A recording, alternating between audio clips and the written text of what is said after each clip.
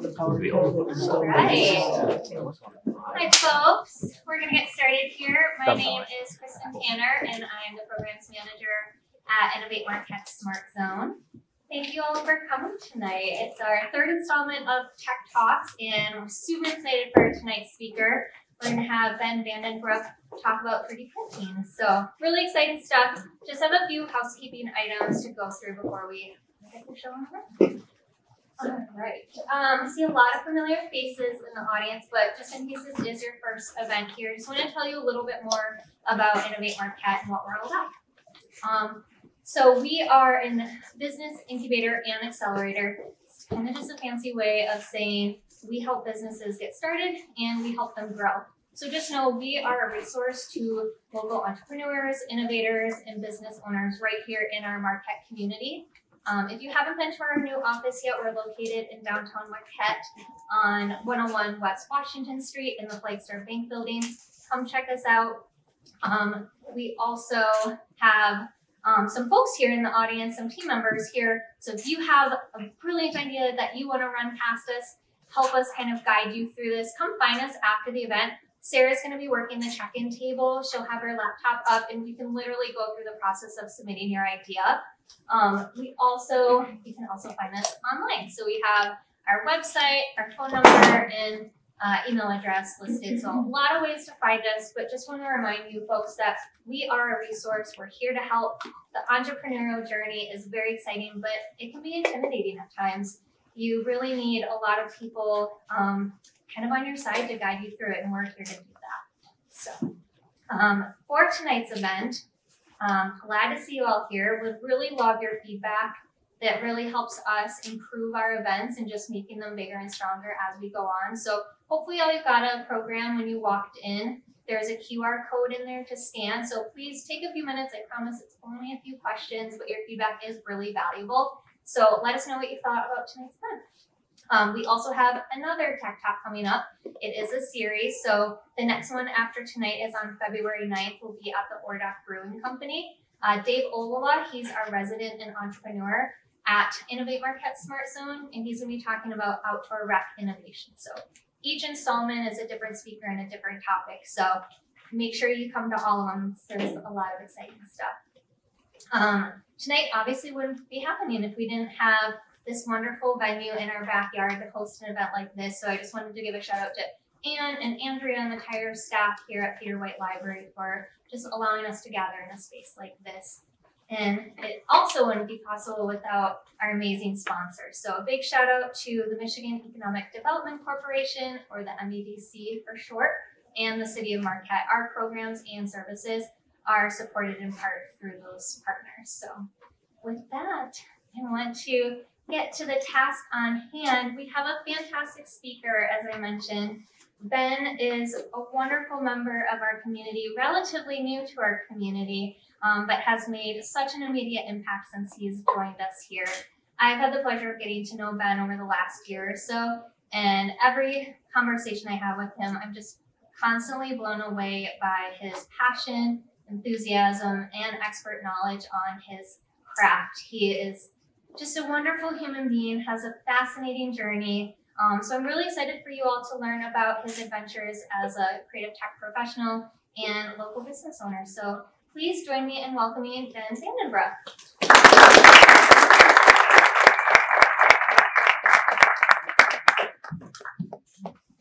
All right, thank you all so much for coming. Uh, so my name's Ben, and I am the owner of Art Lab 3D Printing.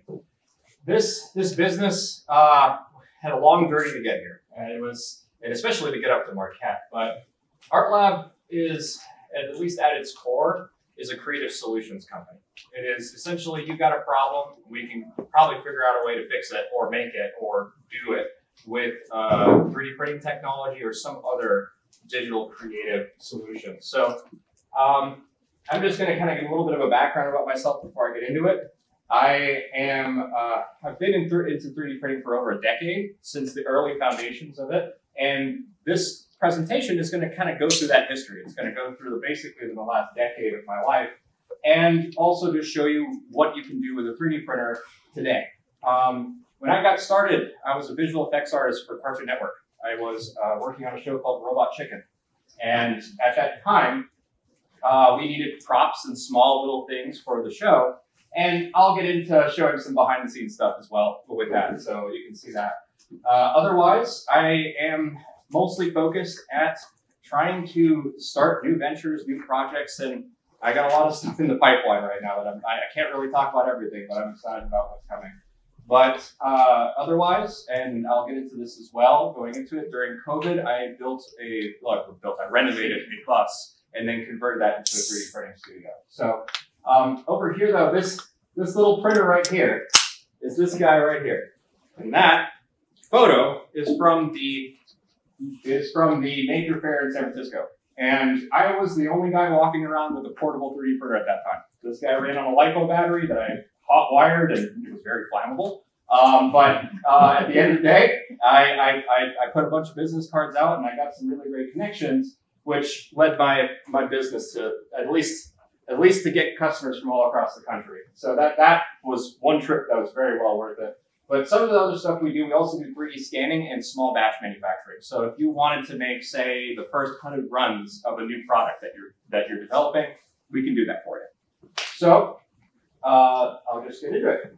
So when I got started, it was I just got out of film school in 2008, and I was I was very familiar with Adult Swim as a fan of like cartoon shows and everything else. I'm, I'm a child permanently at heart, and the thing is, is that I recognized one of the productions that came up, which was this show, Titan Maximum. That they hired me on as an intern with no pay uh, to uh, fix a problem, and that you'll notice there's, there's a recurring theme with this presentation failure, mistakes, and problems. They're actually the greatest inspiration for how finding new direction in what you're going to do. And well, in uh, this this this uh, post online was asking for four interns to come in and work on the show. And I came in and I realized why they asked for four interns. The, pop, the, pu- the puppet department ordered glass eyes on all these characters. They shot three episodes and realized they could see the animator in all the eyes because they reflected back the light from the from the studio. Mm-hmm. And basically, the all three episodes were useless because all the faces, everything, that was devastating. So they so they hired us on to manually fix every pupil in the show. And well, uh, I got sick of doing that after the first week. I, I just that was that was basically torture. So I wrote a script in After Effects to go in and basically circle the eye and automatically remove the issue, which was a high luminance. And they hired me right after that because I fixed what would have been weeks and weeks and weeks of work in about three days. So uh, because of that, they brought me on, and these guys here, every, everything started because of these folks here. And that little weirdo in the background right there, that's me. Um, what happened was I, I was 19 years old at that time.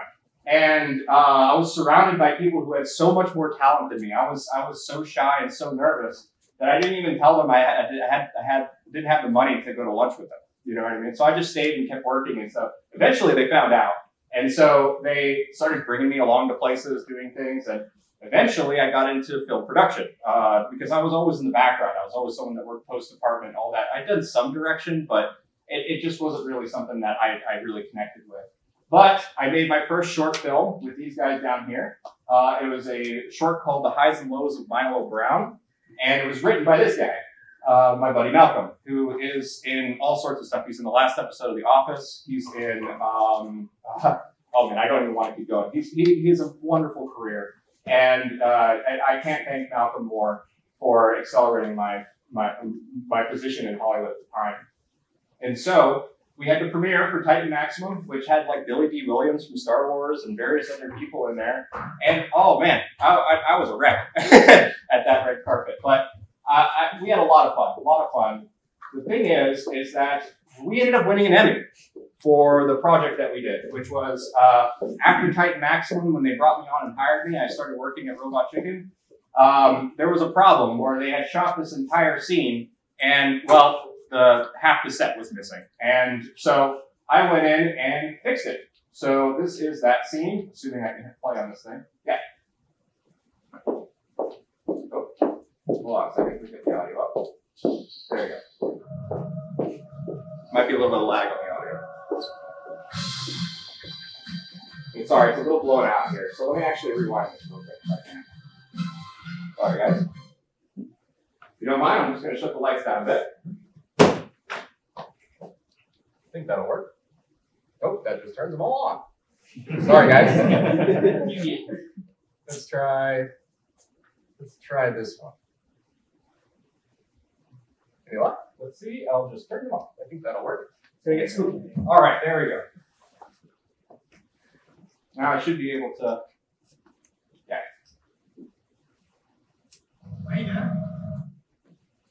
Sorry, the audio's cutting out a bit here.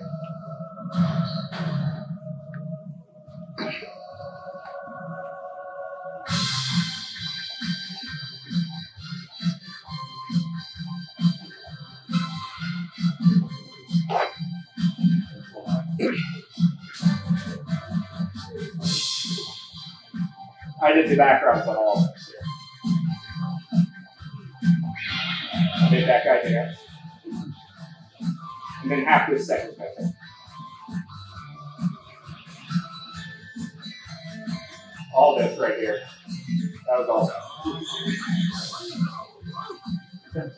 That's John Stewart. All right, all right, we're good. So that that that short right there won our team an Emmy. Uh, weirdly enough, uh, we got invited to Industrial Light and Magic up at Skywalker Ranch, and we showed them this, and they were like, "Okay, uh, you guys can release it. That's fine." so we got we got Lucas's approval. We we put it up on there, and oh man, it was such a fantastic experience to to have that, especially since my older brother is the biggest Star Wars nerd I know, and I brought him along uh, for that. So he just he had a great time. But uh, what that meant though was that at least for me, I, I, I, felt like my career was pretty set at that point. I'm just going to be a guy that works visual effects on stop motion, right? So I started working for a company called Starburns Industries, and these guys here is a much smaller team than Robot Chicken. Um, it's it's roughly 15 people at the time. Um, so we were making shows like Frank, uh, like Frankenhole and Moral Orel and a couple others. And then here's the thing. Um, well, I started this. It's it's really what happened was kind of like a, a shock came down from the from the upper uh, what do you call it, from from the upper upper top people that they had said, hey, we got we got a show greenlit and it's all 2D. Sorry, sorry, stop motion guys. We're going to move on to another medium entirely which is Rick and Morty. Rick and Morty got bought, and this entire studio disappeared. So, and that included me. So, what I ended up happening was this woman right here, which I'm not going to show her face just because she's uh, very, very, her reputation is amazing, and I just don't want to in any way, I, I didn't ask permission to show her face, so I'm not going to do it. But uh, she worked for Pixar on, uh, on Finding Nemo. And I was so fortunate to be sitting right here, right next to her, because she was the one who ordered the first 3D print for me. She ordered about six or seven small little buildings. They looked like, they looked bad. They were just very rough. And at the time, the industry was super, super early. So I just had this little thing that I had read about online, just sitting in my house that I was messing with. And she ordered those seven little buildings. Well, turns out um, that was for Google. It was for an internal employee ad, like something that say like, hey, if you have a complaint with HR, here's how you file it. And it was like one of those like infographic videos. And so my little buildings were in the background and all that, and they paid me 400 bucks. So I felt like I got ripped off there. So uh, instead, I started a business to make sure that never happened again, to make sure that I would have a sustainable pipeline of production for 3D printing. But here's the thing that industry didn't exist yet. It literally was a bunch of nerds in a room trying to figure out how to get these things to work. And I was one of those nerds.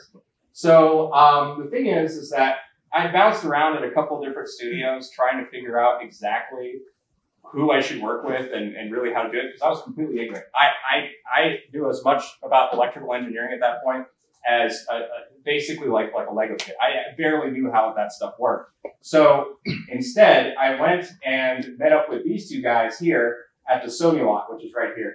The thing is, is that what they don't, what, what you don't know is that these these studios are kind of like little little societies, little little communities of people, and inside of them, they have a makerspace, and that's where I met Diego and Rich. Uh, Diego is, I think, the very first 3D printing Kickstarter period for an open source kit. That's Diego.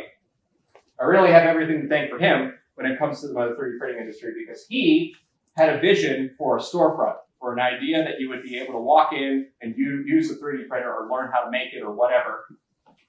And he, he brought me on. I, like I said, I had lost my, my job with stop motion because Rick and Morty got picked up. So I, I needed something to do and I was I had a little bit of money laying around so I could go, okay, I could take a little bit of time off.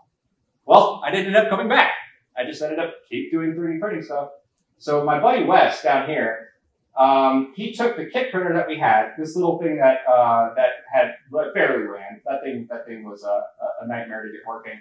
We had traded that into Diego to one of his uh, printers that he was starting to sell on the Kickstarters, and that's that's the thing that's so interesting about this is that you guys have to remember that this printer, which is very familiar to you guys today, if you are familiar at all with 3D printing, that looks like a Creality, right? That looks like something from that you would buy for about three or four hundred bucks on Amazon.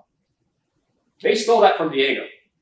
They literally went to maker fairs and took pictures of his prototype printer and then copied that over and brought it to China. So every one of those Creality, what is called a box style printer, this this uh, this kind of box frame here, is based off of his work and Rich's work. Then MakerBot came and stole Rich's extruder as well. So all this open source stuff suddenly became privatized and made it, it, companies were running away with it. So instead, Diego started shifting into different directions outside of 3D printing, and I kept focusing on it. I kept focusing not on the printers because for him, Diego felt like everything was taken from him. While for me, I was simply seeing more opportunity because more printers were coming, more materials were coming, so on and so forth. And so what happened was uh, Diego had a storefront where you could come in and utilize his 3D printers, but he expected you to buy one of his printers. That was his main business model. And the problem with that is, is most people don't have the time. They don't have the experience. And frankly, the Wikipedia, the wiki that he wrote was 80 pages. So it's a lot. It's a lot to consume as, as, as just a, a user. And so my business model instead was to accept people coming in and I could just print something for you. And I was only going to charge you 10 bucks to do it, at least to start. And well, uh, Diego and I had a pretty, pretty uh, strong uh, uh disconnect about that. So um, I decided that instead of trying to get his company to do this, that I would start my own. But I didn't do it in Los Angeles because, frankly, the, the market there is so saturated with at the time, there was like half million dollar 3D printer. They're not even 3D printers. They're, they're called additive manufacturing machines. And those additive manufacturing machines kind of uh, dulled the excitement for the industry because they, they had access to them. They, they were attached to Paramount and very big studios. So when they saw my little kit printer that literally made like almost like just, just like very rough shapes, they were not impressed. But man, was I. I was excited because that little thing I built myself. You know, like that's that that that's excitement. So I, I decided to just bring that technology back to Kentucky. And when I did, I didn't have any like startup money or anything like that. I just had enough that I could move back to Kentucky and, and get a place. And well, uh, I started working with a local with a local makerspace called Create Now. And at the time, they were only focused on woodworking and metal. That was the only thing they wanted to do. And I, I told them, look, if you let me come in and just have a space and be your first incubator, then I, I will do everything I can to make sure this is successful. And I did. I, I, I, I went in, I, I, did everything from like renovate the walls and clean out the building and do everything. I, I, I had learned so much about traditional like skill and craft that I just simply didn't know in LA that uh, I'm so thankful for this experience. With all that said, it was really problematic and frustrating because one of the things that came up with this whole makerspace model was the idea that people can come in and utilize your technology, your machines, your whatever. And well, that means a lot of stuff broke very often. And oftentimes I was pulled in all sorts of different directions that my brain just kind of became frazzled. So with uh, with Jess here, this is an example here I'll show. With Jess, he's currently he was currently working on a couple small like racer drones. And the thing is, is that the the entire time that that's happening in the background, there is a public event happening here that is completely distracting him from it. He looks great in that photo, but man, he's not getting any work done. So there was just a lot of conflict and a lot of frustration about having to work in a very public space on what usually is a rather intimate experience of trying to figure something out, trying to make it work. So after a couple years, just kind of, you know, it was about, I think about three years of doing this, I decided to branch off of the makerspace and start up my own business. And that was, hold on, is that something next frame? Yeah, it should be. So this business here from 2016 to last year was uh, the only 3D printing shop in Kentucky, period, which meant that I was very busy. I printed a lot of stuff. And keep in mind, UPS was one of my competitors. UPS had a location for a little while that was making 3D prints and then shipping them out as an experimental business model in Louisville. And I'll tell you right now, that failed very fast. And the reason why was because they bit off a lot more than they could chew. And I know what my limits are because these printers have so much, they can only spit out so much plastic. So you can just do the math and figure out exactly what your limitations are. They didn't do that. So they got, they ended up just breaking off a bunch of clients that they had very much trusted for a while. And I ended up consuming them. So, uh, you know, uh, seeing like, like, uh, orders from aerospace companies and all that stuff show up like in your email one day is very shocking. So uh, this right here, and, and the, the, the, big ass fans that's, listed here, that's actually a satellite. That's currently floating in space somewhere. Um, what it is is an airflow test. And that airflow test had these little donkeys in it that we printed. So currently, uh, even though it's been sanitized, I think technically there's some germs of mine in space right now. That's cool. um, but uh, then the thing is, is that, that that that ended up branching into all sorts of different, um, you know, avenues of 3D printing from, you know, corporate solutions like that where we're trying to make something that's a uh, really unique and specific to just taking in someone's broken part and repairing it, but not repairing the original, printing out a copy of it. So right here is the original, um, I forgot exactly what this part's for, but I believe it's for a, like a, a large, like canopy or tent. And this is like that mounting arm that's there. This is a copy of it that is printed after it's been 3D scanned, and I'll get into 3D scanning in a bit. But what's really interesting about this is that um, when I gave it to the customer, he wasn't, he, he, it functioned, everything fine. He was upset that it wasn't glossy. So, uh, you know, you never can ever make everyone happy, but at the end of the day, I was, this is one of, this is one of my favorite prints, but I will say that um, when it comes to like this business and everything moving forward from here, 3D scanning is by far, I think, the most accessible way to get into 3D printing if you can get access to the technology. And we do have that here. So, and at Innovate Marquette, we have two different kinds of scanners. Um, they actually, they have it, not me. They have two scanners. It is a tabletop scanner and a handheld scanner. The handheld scanner lets you do big things like cars and engine bays and all that kind of stuff uh, even entire rooms. Uh, or the, the tabletop scanner is really designed for small things. And that's actually what I use the most, the tabletop scanner, because it lets me be able to just quickly scan a small part. So um, let me just kind of get into a little bit of the background of the actual business model of ArtLab. We are an education first business. I actually, my, this is my trick, and it's probably not the smartest trick. I try not to make money the first time I meet somebody. that's usually the way I go is I try to teach them something and get them excited about something and let them know that there's something new that they didn't know. And then I try to sell it. Because then they are engaged, they're interested, and they're excited about what you're talking about. And maybe the sticker price won't shock them as much. So when you're talking about a 3D printer, uh, specifically a professional 3D printer that's meant for business and, and higher end production, you know, we're talking about in the thousands price. That's actually really cheap compared to corporate printers that cost 25,000 to a half million. So um, yeah, the industry just completely shifted while I was in business. It shifted from um, just tinkerers, small consumers, like just making things, to entire corporations wanting to buy hundreds of these 3D printers. And I got a little chunk of that money, so I was very fortunate for that. But the thing is, is that in education purpose, I would have never been able to get into those doors if I didn't have the focus to say, hey, let me show you why I'm so excited about this, and then we'll figure out if it, it makes sense for you. I don't care if I'm wasting my time. I know I'm, I, I know I won't waste yours. So that's the kind of enthusiasm I, I had walking in the door.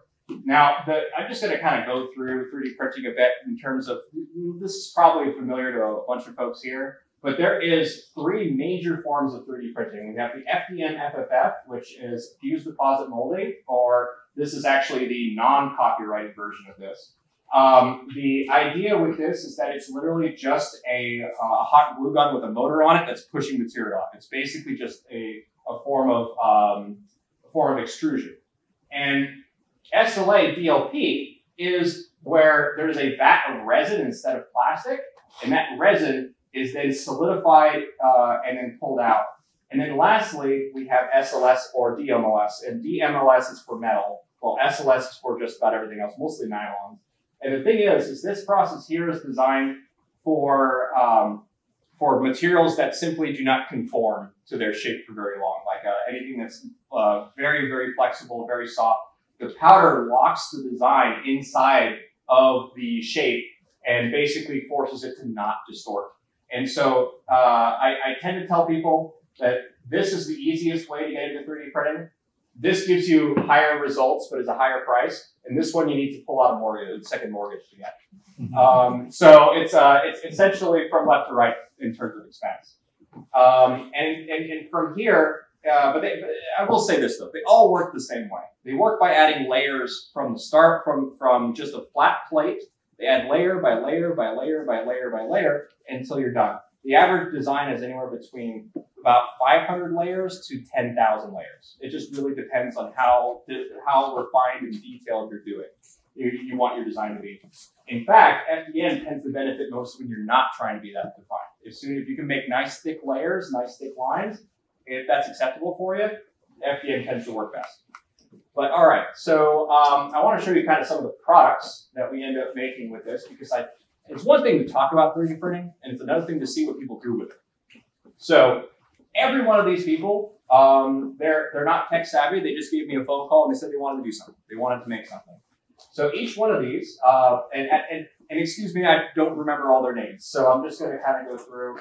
Uh, this was an architecture project. She was, uh, it was due in two days, and she just was super desperate to get it done. And uh, I, I, I went through and fixed her model and did all that stuff. And that's the thing. When you're connected with universities and you try to make things that work for the students, sometimes it's a point where the student is the one that was at fault for not being fast enough or whatever the situation is, or not or not putting in the due diligence to get it done on time. For her, it was a completely unique situation. It was actually the fact that her hard drive crashed on the drive over to my to my studio to print her thing. So we had to work on old files and get it all running and all this stuff. So she was very lucky to get this at all because her computer was not almost non-existent by the time we were done with that. So the thing is, is that this is just an architecture model. And I say just because it's, it's actually relatively simple. It's just a bunch of white shapes uh, that we then can glue together. But then when we start to apply application where there's, there's, there's actual use of this, like for example here with these iron gate replacements, that has to last outside. It has to survive extreme temperatures sometimes. And overall, it just can't be brittle. It can't be weak. It can't, it, it, it's a product. You have to, it has to survive it, uh, some kind of lifespan. And well, the thing is, is that these iron gates here were printed with polycarbonate.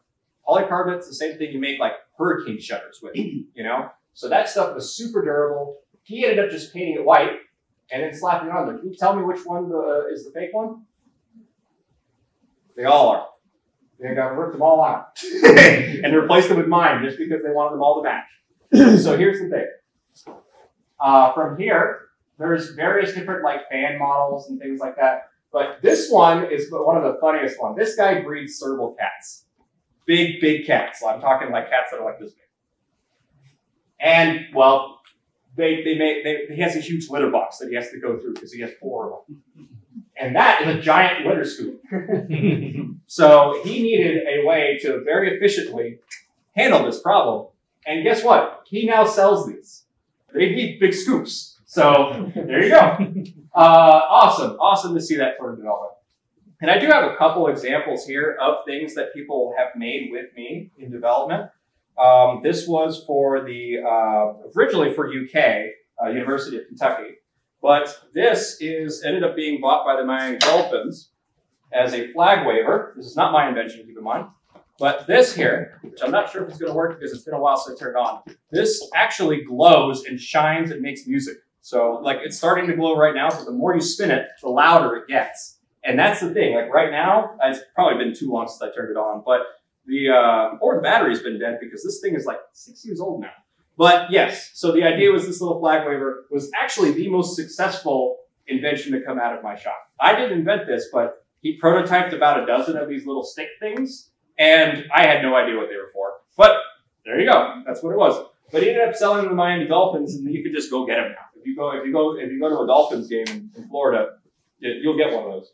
Um, so the thing is, is that uh, this also kind of goes into some of the more business-oriented projects as well. So this one's a little tough to see without me kind of pushing this sucker out here.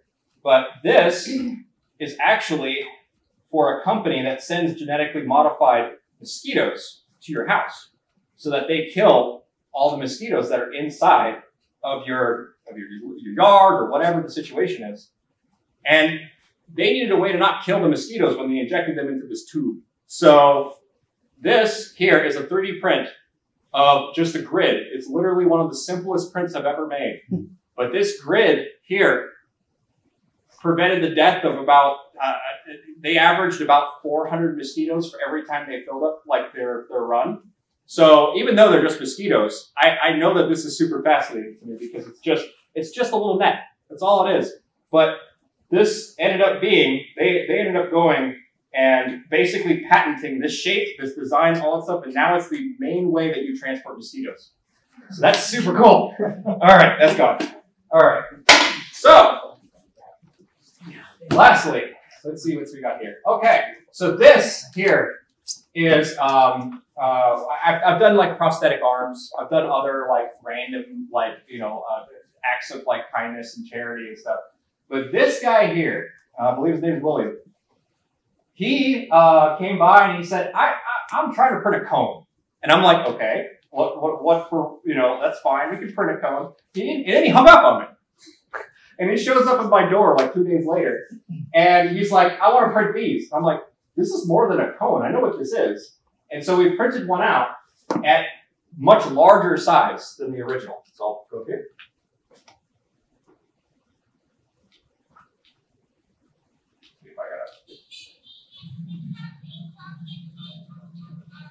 Photograph. That's another good thing. Even if it falls out, it shouldn't break. No, no, not at all. Now, All right, and then he immediately told me to make 12 more. So, uh, so the thing about this is that not only was the acoustics good that came out of the print that we had, they were actually better because the way it was less tinny. It didn't have the resonance of metal and copper. And he's, he's referring to it dropping because that's exactly what happened. It was a large cone, not as large as this one, but it was a large cone, and it slipped off and the entire thing shattered. So he didn't have his, his max volume uh, phonograph cone anymore. So we printed that on out, and then he, like I said, we printed a bunch of them out because he just wanted different volume, different tones. You have to literally calibrate those things by changing the cone on it. So super cool to see, uh, and actually get play with more. You know what I mean? Like that's that, that, that's neat. So then uh, there's also something called a lithopane, and a lithopane is essentially a three-dimensional print that only lets in so much light in order to create an image on the other side. Um, and you can do a reverse lithopane as well. If you've ever been to Disney World or Disneyland and been on the Haunted Mansion ride and saw the faces looking at you, you know, you can do the same thing with this.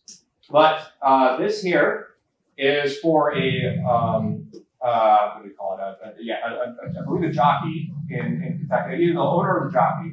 And what's neat about this is that it looks like that when it's turned off. But when it's turned on, you see the image in perfect clarity.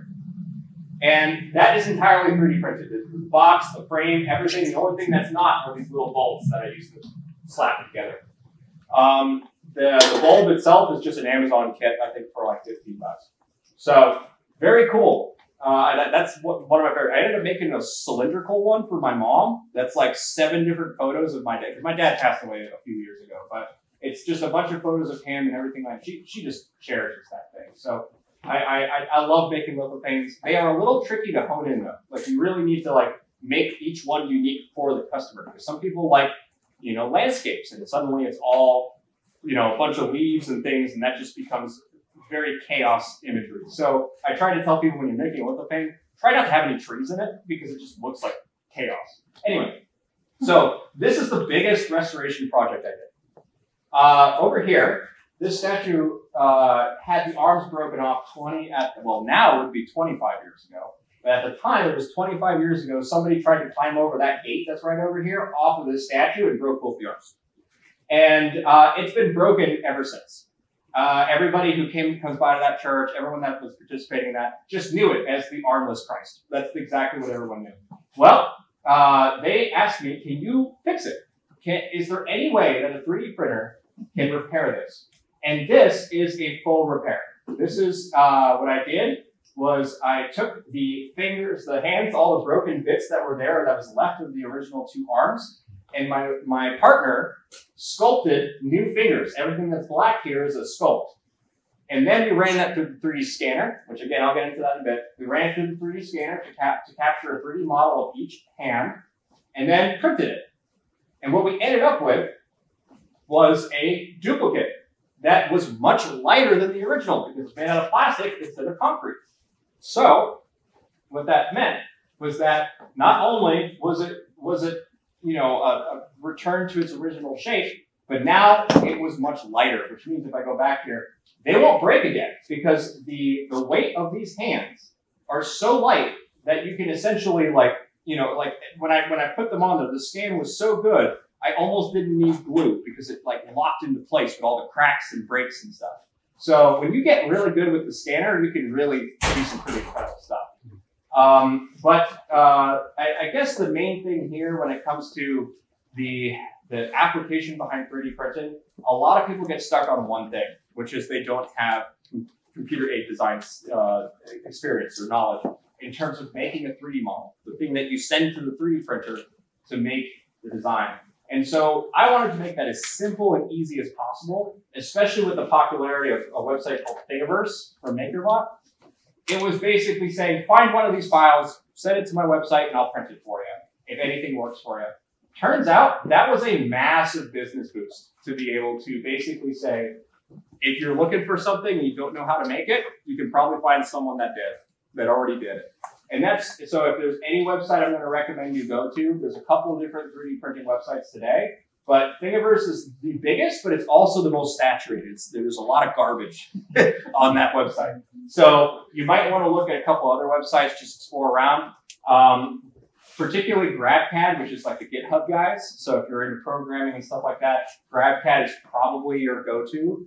Um, but I personally love Sketchfab, which is a 3D modeling and viewer. It lets you like spin 3D models around in a very dynamic way. It's a very cool way to show off your stuff. So uh, but essentially it works like this. You get one of those files or you make it.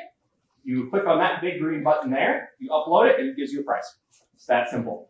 And the reason why that works is because the CPM, the industry, all kind of caught up with what I was doing. Uh, not by any intention. I'm, i was completely, you know, uh, uh, the mystery to all these people. That's fine.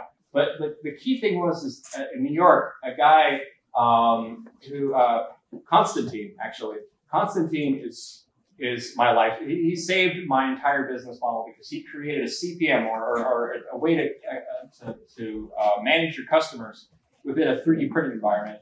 And so I integrated that in my website, and that's what happens when you click this button. It just instantly brings you to that CPM. And it's been history ever since. Essentially, everyone has been sending me 3D prints of every sort of design you can imagine. And I, I, tend to like I tend to print them, but I always give a warning, especially when someone brings something that is beyond the capability of the printer. I just tell them there's there's there's no guarantees here. I cannot guarantee you that it's going to look good or that it's going to be great or function well, simply because of these worries. And um, it turns out that people really appreciated knowing that they're not going to waste their money. So uh, I got recommendations, good reviews. I often got reviews from people that never printed with me, which is very interesting. Um, just people saying, "Oh, he was great. He did a fun, he did so much fun stuff for me and helped me out." And uh, I didn't end up buying anything from him, but here you go. And they just felt bad, and they just gave me a good review. So that that that's interesting to see. Uh, again, education first business model is something that I really, really believe in, and it's something that I I, I think that is not done enough because it's it's it's a bit altruistic. It's also just kind of giving stuff away, honestly. But I I I I, I love it. Um, so let's talk about the methods of creating a 3D model to send to a printer. Um, the the most traditional and normal way to do it is with CAD or computer aided design. There's hundreds, well, dozens, let's just say dozens of 3D printing programs that are out there that are focused on this process. And essentially what you're going to be doing is creating a 3D model that is solid, that from, from the outside, it's it's it's it's completely surrounded with, with what is called facets or or, um, or triangles or whatever whatever you want to call them. There's all sorts of different. The problem with this, and the reason why CAD is not exactly the easiest thing to jump into, is every program has different terms, different different uh, ways and uh, workflows to approach 3D modeling. So uh, I tend to recommend if, you, if there's anyone that wants to get into CAD particularly, Tinkercad. It is a program that honestly is the easiest to get into for 3D modeling and lets you make functional stuff, not just like cutesy characters and things like that. You can make real products with Tinkercad to an extent. It has its limits, but it lets you at least like, if you need to make a door jamb, you can make a door jamb. You can make anything you want when it comes to that. It's really more about what, what you want to do beyond that. So for example, if you wanted to organic, like do organic modeling, like sculpt a person or a creature, then you probably want to use a program called Blender or Maya. Particularly, there's like sculpting programs in there that really let you hone in and act like you're working with clay instead of working with math. So um, from there, 3D scanning, this is that little scanner I got here. This is essentially the easiest way to get into it because it just means you pop something down and it gets a 3D model of it and then you print it. But there is like tweaking and, and, and modification that tends to have to be done in order to get it to look or behave the way that the original did. So sometimes when we're scanning stuff, we don't exactly get one to one with the original, but oftentimes we make a better product than the original. And I can explain that with one really good example. Um, have you ever broken anything in your fridge by accident? Like any of those little handles or, or any sort of like small drawer or anything like that? There's always this like small plastic part that's like like why isn't it solid? Like why is it hollow and with a bunch of like little ribs in it and it just broke on me? Right? Always this little brittle thing. That's because there's a form of obsolescence that's inside of a lot of the products that we use today. That the only reason why it's there is because it means it's cheaper to make. Uh, it means that I can make uh, a thousand of these instead of a hundred of these with the same material because I made it I made it just weak enough to, to work, but not forever. Essentially, no one wants to make the light bulb that lasts forever because then you destroy the light bulb industry. So that's that's the logic there anyway. So the thing is, is oftentimes the parts that would be coming to me, I end up printing thicker, stronger, or better than the original part. And the well, that that that has that has a lot of benefits, but also it's it's one of those things that people don't really realize just exactly how things are made around them. So what I, I felt like one, one of the things I learned the most as I was going through this process was just manufacturing in general and how popular, or not popular, but how uh, diverse that, that is. Everything from injection molding all the way to, um, uh, to forging and, and working with metals and all that. Those are, all those processes are unique to themselves to the point where someone comes in and brings something that is that I, they expect me to replicate, and I'm going to tell them, look, it's going to be different. It's always going to be a little bit different, a little, a little, it may not work because it's different. We'll have to see. so uh, the materials here, they range very dramatically, especially with FDM materials. You tend to have a much wider range of materials when you talk about the cheaper method versus the more expensive. But they range anything from rigid to flexible to uh, sometimes they have an odor. Like there's some of them that just like smell pretty. Uh, and I don't know why you would spend twice as much money to have a, something you can just spray perfume on later. But anyway, Um, there's all sorts there's all sorts of different materials for different reasons. The most common material we end up printing with is PLA, which is a corn-based plastic. It is a it is not technically biodegradable. It is technically biodegradable, but you have to put it through a chemical compost to do that, which means you can't just put it in the landfill. So a lot of people have that misunderstanding about the that plastic. It, it, and and the most I feel like the most my favorite material to print with is actually polycarbonate, the last one here. It's just the strongest, most durable material. And then lastly, uh, or I guess one of the last things here is to just kind of talk about the range of services that ArtLab does provide. We are we do provide support for open source. We have 3D scanning, FDM, SLA solutions as well, and eventually we'll get into SLS. But we usually order out the SLS stuff, and then the proprietary solutions. The reason why that's not in the services here is because it takes up too much too much time. Uh, lastly, I have my bus, which I don't have a ton of pictures of here, sadly. I'm sorry. It's really in the works still, even though I've, I lived in there for a year and a half. Um, it's still very much a work in progress. But the idea behind it was that it is a fully mobile 3D printing studio. It has 500 amp hours of lithium batteries, so that essentially means that even if I'm down in negative 20 degree temperature, I can still 3D print. Uh, and then the solar collection on top is about the same as a single outlet. So 1200 watts is how much you'd be getting. it. However much power you can get from one of those outlets, about 15 amps, that's what, that's what's there. So uh, lastly, uh, the scanning and the reason why I'm doing this. So scanning meant that I could just go anywhere and scan stuff. I had a, I, I had a real dumb idea that I decided to pursue while I was in the bus called realfakerocks.com. And the idea was to 3D scan rocks and sell them as NFTs. And um, well, I sold like two. Uh, it was funny. It was funny. But they had like all sorts of like arbitrary stats, and the idea was that they were all based on, on music genres. So like this rock was particularly metal, or this rock was particularly punk. You know what I mean? Like it was all very random. It was all run through randomization things. And uh, well, I guess the joke landed for a couple people, so they. But uh, yeah, so neat, neat. Um, that's it. So uh, I, if anyone's got any questions or anything like that, I'm happy to go through. But Kristen, is there anything else? Like I don't know how much time we got left. We got time for questions, so let's give a round of applause.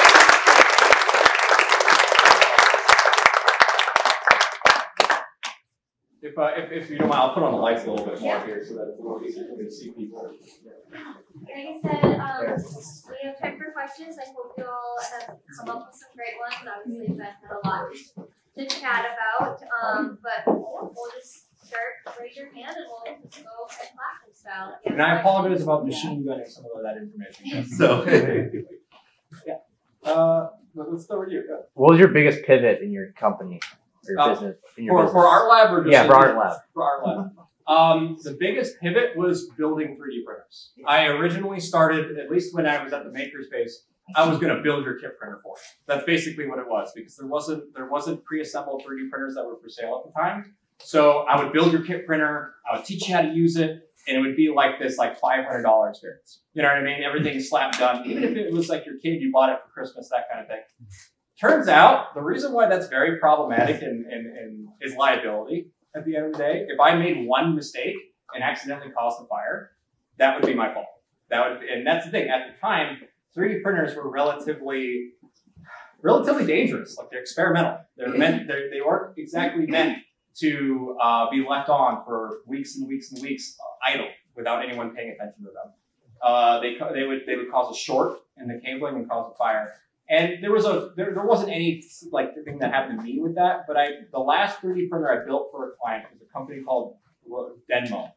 And Denmo in Kentucky was actually a Japanese company that had a manufacturing wing, and that manufacturing wing asked me to make a 3D printer that had a two foot build volume, like being able to print two feet this way, two feet this way.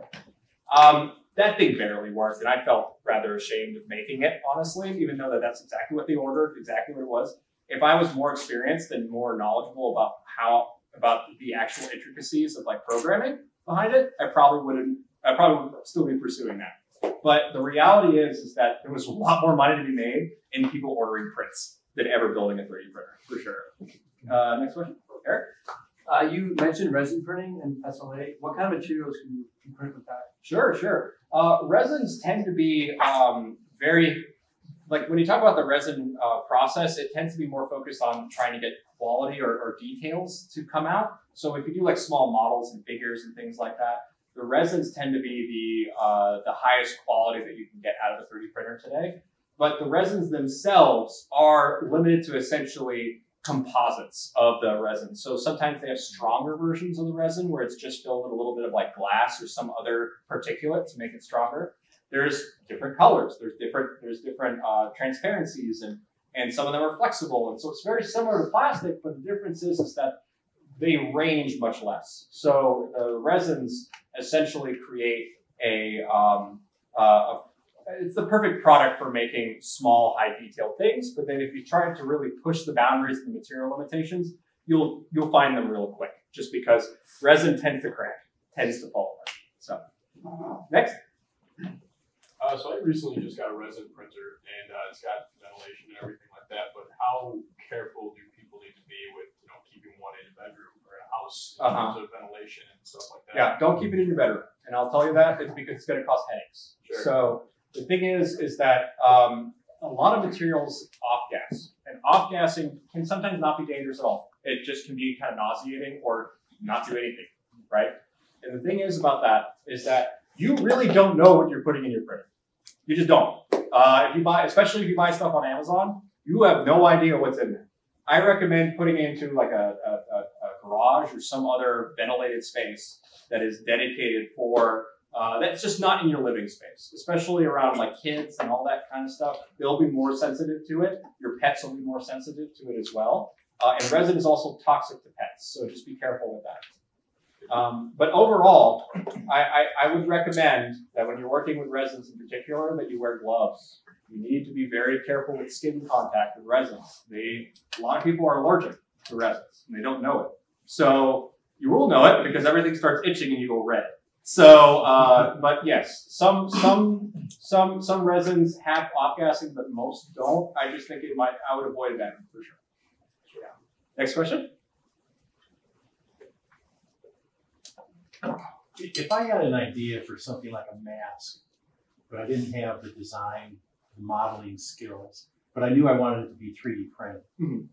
would you be able to help me with the designing, or would I need to find that service someplace else? Oh no, I'll definitely be able to help you with that. Not only that, I could scan your face, and then we can make it fit you perfectly. Um, we probably want to bump it up an extra percent or so to give you enough room for like your cheeks and stuff like that. Like that's the thing. People don't realize how much your face distorts when you smile and when you get angry and all that stuff. And your mask, and when you print, when you scan that stuff, if you make it one to one, it's gonna feel like you're being suffocated because it's just, you know, like completely like vacuum formed to your face. Um, and uh, and for some people, I mean, I've printed like masks before that have spooked people when they put it on because it's just it presses every part of your face. It's not just sitting on your cheekbones, you know. So yeah, definitely, definitely we can do that. Especially when we start to talk about trying to like take popular things and make them into masks, we can do that too. So yeah. Uh, any other questions? Uh, you'd said when ordering on like Amazon materials that you really don't know what's in there. Is there not a lot of like regulation around? Correct. Um, is there a push for that? Um, so it you really need the public to want it. Yeah. for there to be a push. And right now, this technology is so new that you really don't know what really what is uh, like what what the end result is. We we when we started the 3D printing back in or like around 2010 or so, um, I was printing ABS in my house, and ABS causes nausea when it's off gassing, and I didn't know that for about three weeks. Why I was getting sick, like why I was getting dizzy. And it, it was simply because I was running a 3D printer next to my desk, like like on my desk right there. I was you know fiddling away with some visual effects stuff, and that little printer was going. Turns out I was I was uh, uh, it was toxic. It was toxic to me. So I stopped printing with ABS after that, and moved over to PLA. PLA is all corn. It's not going to hurt you. Oh. Uh, so PLA is safe to print, it's safe to have in your room, that kind of thing. But here's the other element to that. The printers themselves can off gas too. Sometimes they have lubricants and things in there that when they get heated up, they off gas. They start to create an odor. And so if you smell anything, do anything like that, you probably want to move your printer. Probably want to put it somewhere safe. Question? No? Uh, yeah. Uh, so I've been printing with TPU on my printer, and Awesome. yeah, it's been having a lot of stringing issues. Yeah. Uh, is there like What what kind of printer do you got? Uh, an Ender 3 V2 Neo. Okay, so it's got a it's got a Bowden tube though. Yes. Yes, so that's why. That's why you're getting all the herring. What you need to do is called a direct drive upgrade. Because TPUs, flexible materials, they don't like to be strung along a big tube. They just get all wobbly. You know, it, it, what he's talking about is TPUs. It's almost like a noodle. It is so soft. It's like it, it's like it's like a cooked spaghetti. So because of that, you the longer that tube, the longer that plastic has to travel through the tube, the more unreliable it is by the time it gets to the extruder. So if you do a direct drive with the motor where the extruder sits right on top of the hot end, you won't have that head swinging issue anymore because it, it's much more reliable on, on your retraction and extrusion. Okay. Yeah. I, I, if there's anything else, just ask me. I'm happy to help you with that. Great. Uh, any? Yep. Do you have any opinions on how 3D printing will like continue to affect like healthcare, Oh yeah. accessibility? For sure, for sure. Yeah, and I didn't get into the speculative stuff. I tend, I'm a, I do tend to consider myself a futurist, but I try not to spec, like predict too much because it can kind of go all over the place.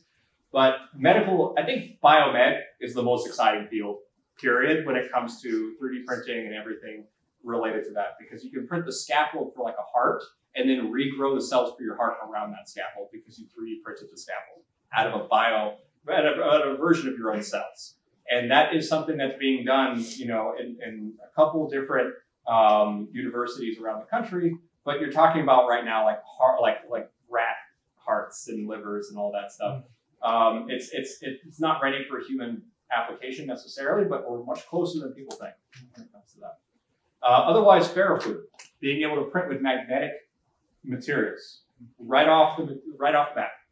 So the idea with it is that you would have a vat of me- metallic or just metal composite material, and then imagine a bunch of cylinders of magnets that when you hit a button, it instantly forms that ferrofluid to that shape. Like instantly. We're talking about instant 3D printing with that. And that is something that's actually probably going to start making use here soon. That's that would be my prediction. Is a 3D printer that can make things in about something about two seconds. So night and day difference compared to today. Uh, any other questions? Um, did you mention PLA is not really biodegradable? Can you recycle it in any way possible? You cannot. That's the fun part about PLAs is that your the recycling companies, even though they could biocompose it and all that stuff, there's just not a method for it. You don't have a label on the bottom of your 3D prints that tells it what kind of recycle it is. You, you notice on the bottom of like a, a, a soda bottle or anything like that, it'll always have the recycling symbol with like a circle around it and a shape. Usually, I think it's actually a triangle you need that symbol for it to be recycled. It will, they will not accept anything that doesn't have that symbol. And guess what? Everything you 3D print doesn't have that symbol. Uh, unless you got in your way to put it on there, which is kind of silly when you think about it. But yeah, it's it's recycling is, is a kind of a flawed concept in some ways as well. And I don't want to get into that too much because a lot of people get upset by hearing that. But uh, the reality is is that recycling just it's really hard to recycle materials where anyone can do anything with it and then randomly change what's inside of it too. So like if I'm printing something out of a plastic I know can be biodegraded, I could also just shove a bunch of non-biodegradable plastic inside that same design by either doing like multi-parts or compartmentalized or whatever. And then suddenly it's a multi-material thing and it no longer can be recycled at all. Um, great talk, by the way. Thank you. That's great. Um, I see a group of people here. Some have the 3D printer at home. It's awesome. You have a whole lab of them. Could you talk a little bit about the emphasis on as VFX in film and all this stuff has been it's it's increasingly going more digital. Um, AR is a big part of where I, what I'm trying to get at is the future is in a lot of ways should be more in teaching about modeling.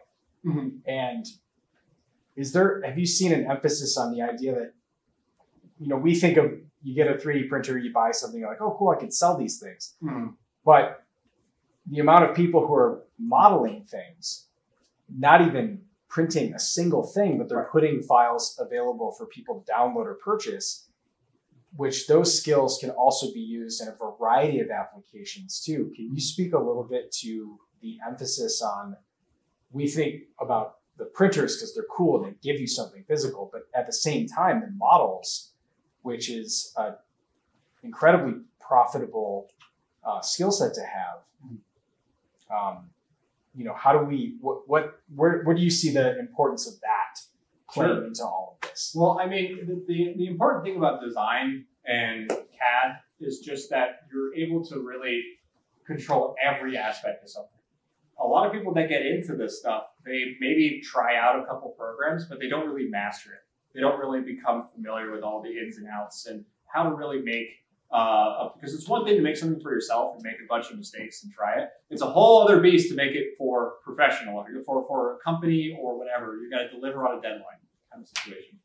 And at least when it comes to the amount of people who suddenly had a skill that was very applicable to a lot of people, that was jarring for most of the designers that I knew because they suddenly went from, I have this obscure job that you just don't understand, to everyone wants to me to do something for them. It's like owning a pickup truck.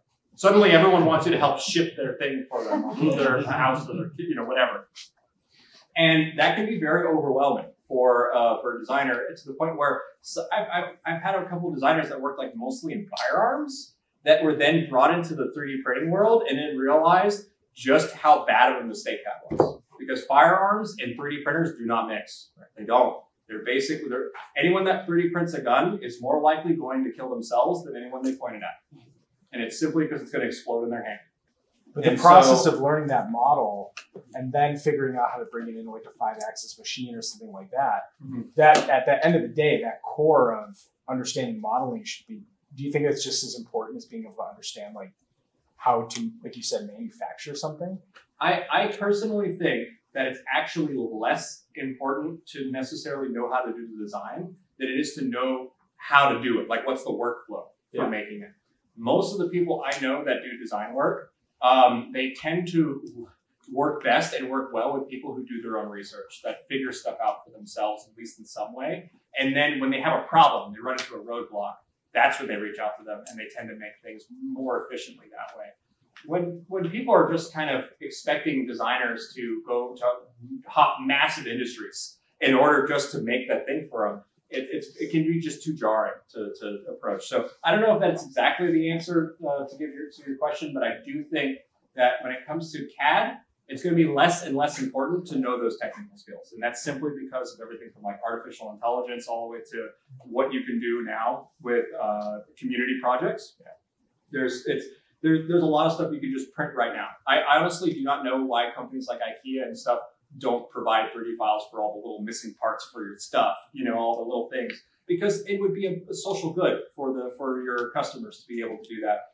Uh, and and that doesn't require a CAD designer anymore. It just requires the company to release those things. So I hope that answers it, at least at least in some direction. Yeah, no, it's that's interesting. Yeah. I'm loving all the questions. We are a few minutes over. I want to be respectful of everyone's time. Um, so maybe we'll reserve it to final two questions. So raise your hands high for Ben. Yep. Anyone else? Yeah, there you go. Um, do you have any tips on leveling your bed? Like, Yeah. On a PLA printer? For for a what printer? Like on PLA? Okay, okay. So um, there is a uh, the first thing you want to do is actually not level the bed. The first thing you want to do is put a can of soup on it. And the reason why you do that is because soup cans are manufactured to a very specific form, and you can level your x-axis. You know the the what kind of printer do you have? Um, it's similar to a Creality. Okay, yeah. S3. So then you can take the arms and put it on top of the soup can. And what's that's going to do is going to level the arms, the x-axis. And after you know that that's level, both sides are, are balanced, then tram what is called tramming the bed, leveling the bed. And the best way to do that is just to bring the nozzle all the way to the bed and then put it all four corners. So you have you move the extruder to the corner, adjust the knob, move it to the other corner, adjust the knob, so on and so forth, and then do it again to make sure that it's right. Yeah, okay. That's the best way. But there's other tips on YouTube you can find as well. Um, if if uh, it's, I would recommend there's a guy uh, named Maker's Muse. Yeah. Maker's Muse. Watch his stuff if you haven't already. Okay. Yeah, he's is that paper trick? Is that like a, actually like a thing or is that just a myth? no, no, you could definitely use the paper trick. The problem is, is that uh, the, the paper trick means it's, it's it's too easy to tell. It's if it's too hard to tell exactly when you write on it. Yeah. It's actually better to use your eyes, just to Oh, put your eyes at the bed level and then see where the nozzle's almost touching. It can't touch, but almost touching, and then move on, and then then move to the next corner. Corner, corner. Does that does that help? Yeah. Awesome, awesome. All right, one more question. Woo. Any recommendation on slicers? Yeah. Okay. We got we got we got we got a user here too. Okay. Cool. Um, uh, I would recommend Idea Maker. I love Idea Maker, uh, but I also sell Raise 3D printers, so there's a reason for that. But Idea Maker lets you do some really dynamic stuff. Uh, otherwise, Prusa. Anything from Prusa is good. Um, but the, the reason why I recommend Idea Maker is that it has this really cool dynamic texture bump map feature, which essentially lets you make things look like wood with just a button. Super, super cool. Um, and I think that's exclusive to Idea Maker. So, and it's free and it works with every printer. You just have to set it up. So, all right. Maybe that's it. Thanks, everyone.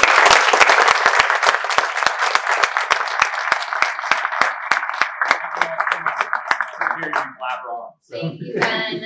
Um, I promise I will make this quick. Thank you all for attending. A reminder, our next tech talk is on February 9th. We're gonna be at the Ore Dock this time, so just down the road. Um, we do have a on hand, so like I said, we're a resource for you. We partner with great um, people like Ben um, for prototyping services, patent advice, you name it. We are here to help entrepreneurs, specifically within um, the tech industry. We're here to help tech startups and tech innovators. So if you have ideas, we'd love to hear them and see how we can help you. Um, come over to the check-in table. We can literally get you started with the process of submitting your idea right here before you leave the library. Um, but hope you all enjoyed yourselves. Take that survey. It'll be really quick, I promise. There's still food over there, I see, so load up before you hit the road and drive safely, everyone. All right. Great.